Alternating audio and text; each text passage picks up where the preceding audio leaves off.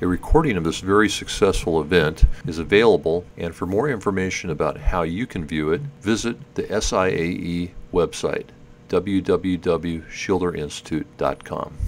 So when a patient like this comes into my practice with a crack going mesial to distal with relatively small restorative, almost 100% of the time I recommend extraction. These types of cases can actually be a practice builder if you actually take the time to have the conversation with the patient, to have the conversation with the referring dentist. Uh, It could be unpredictable. We might get one year, five years. Who knows? It could last a lifetime.